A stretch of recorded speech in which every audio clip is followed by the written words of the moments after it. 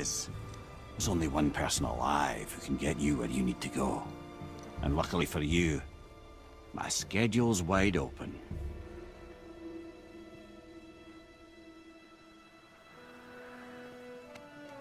We're going to Jotunheim, right?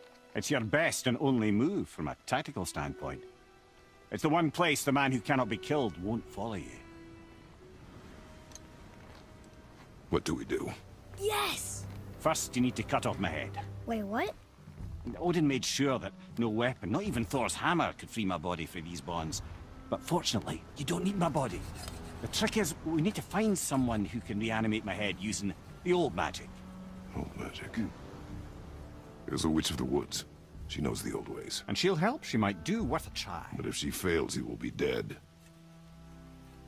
He tortures me, you know. Every day, brother. Odin himself sees to it personally, and believe me, there is no end to his creativity. Every single day.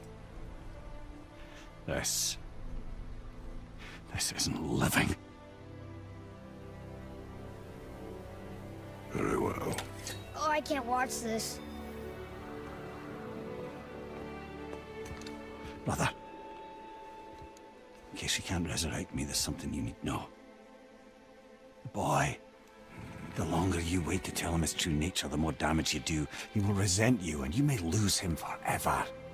There is much about me I would not have him know. So you value your privacy more than your son? I'm going to cut off your head now. Fair enough.